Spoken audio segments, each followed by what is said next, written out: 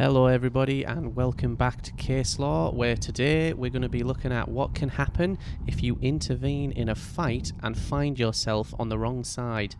And what I mean by that is where you see an altercation taking place and you step in, perhaps believing somebody is being attacked, only later to find out that you've attacked somebody who was trying to do the right thing.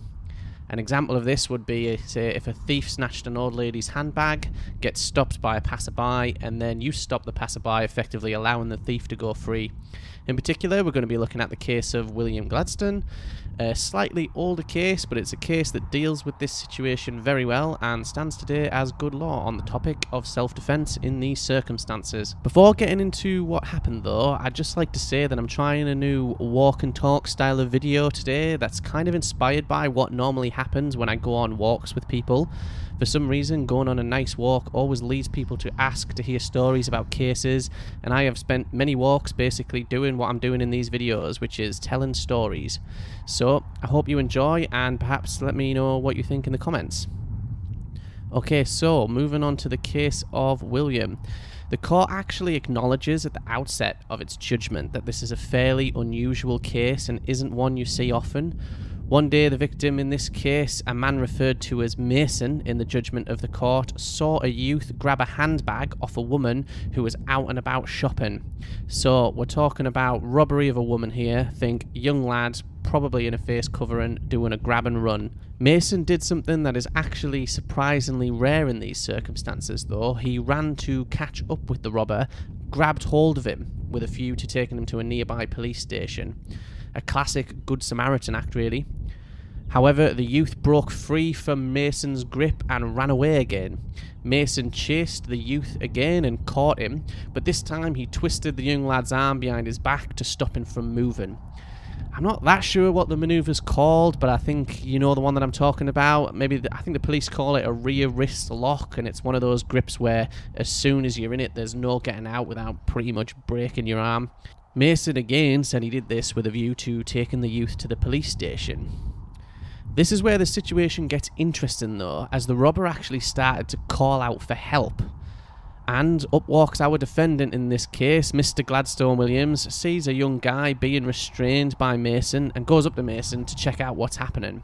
According to Mason, he told Gladstone that he was detaining this guy for mugging an old lady, and in a move that I think probably put the whole situation into overdrive, he told Gladstone that he was a police officer, even though he wasn't. Gladstone then asked Mason for proof that he was a police officer, which obviously Mason didn't have, and when it became clear that Mason wasn't a police officer, a punch up ensued, such that Mason came out worse for wear. I'm not sure how long it lasted, but Mason's injuries were broken teeth, bruising and marks to his face, bleeding lips and gums, you know, what I guess you might expect from a proper bust up. After the fight, the real police got involved, and Gladstone found himself charged with assault occasioning actual bodily harm pursuant to Section 46 of the Offences Against the Person Act. Now, at this stage of the video, I would say perhaps pause and have a think about what you think the outcome of the case should be. Should Gladstone actually be convicted of assault? If not, why not? I mean, in this situation, an innocent guy was trying to stop a woman from being robbed and basically almost got his teeth knocked out.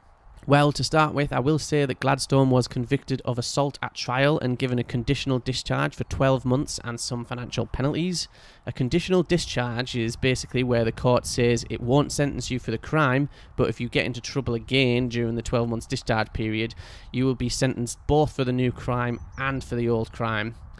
However, this conviction was quashed by the Court of Appeal on a point of law, which means that Gladstone's conviction was basically thrown out and he suffered no penalty. In doing this, the court considered the application of what you probably know of as self-defense, which is often used as a catch-all term for situations where you can legally use force against another person in a way that would normally be criminal. One such situation is defense of yourself, obviously, but so too is defense of another person and the use of force to prevent a crime being committed. So we can see here that Gladstone is actually using force both to defend the youth who committed the robbery and also to prevent him from being assaulted by Mason, which would be a crime.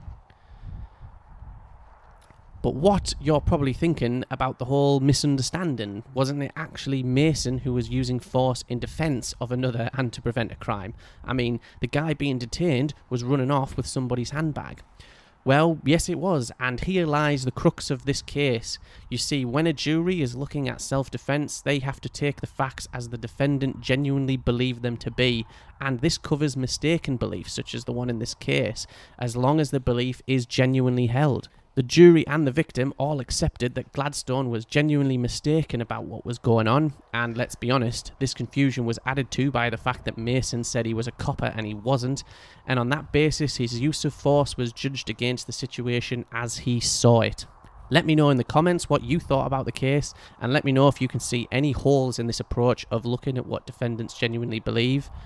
Also, standard disclaimer, but this is obviously not proper legal advice, not least because I don't even know where you're watching this video from. Thank you very much for watching, and I'll catch you next time.